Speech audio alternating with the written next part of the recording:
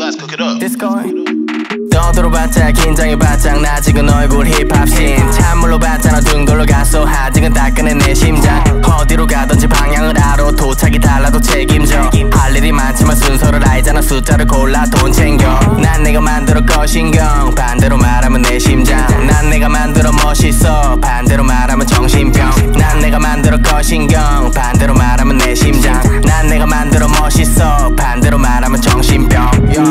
차분히 벌스를 늘려 까칠하지만 나오는 태. 주어진 벌스의 열정을 뱉어 확실히 이동 문전 앞에 재미가 있어서 멈춰 그런 단어를 쓸 수 없네. 세상이 어떻게 될런지 강제로 행동 명령하네. 부풀어 세부 커지는 이판 단체로 시켜. 비례미 무시 변화를 인식 가끔은 사려. 가끔은 사려. 겉멋이 가득 내용이 없어 못 배운 타령. 사람이 나도 가끔은 꺼내 쓰잖아 가면.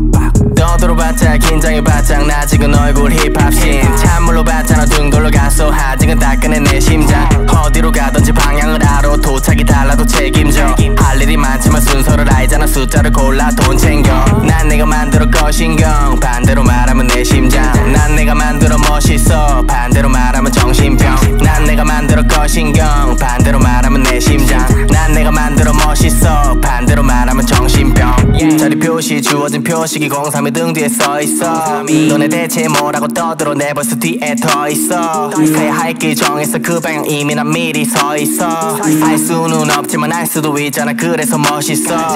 뭉쳐야 사는 건 당연한 이치라 나조차 부정을 못함. 그런데 세상이 맘처럼 됐다면 모두 다 부자야. 오바 예술을 하면서 사는 건 나에게 득인가 독인가 몰